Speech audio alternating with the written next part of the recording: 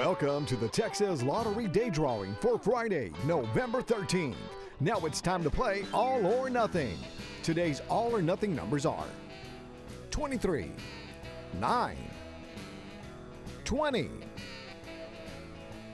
24, 5, 14, 19, 22, 13, 21, 8, and 6. Once again, here are those all or nothing numbers.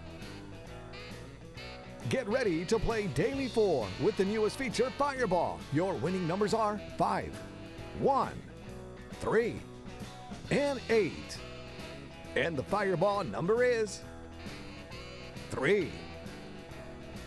Once again, the Daily 4 numbers are 5, 1, 3, 8. And the Fireball number 3.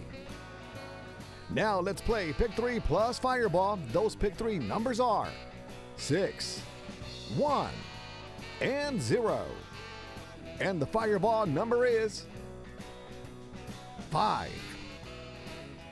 Once again, the Pick 3 numbers are 6, 1, 0, and the Fireball number 5.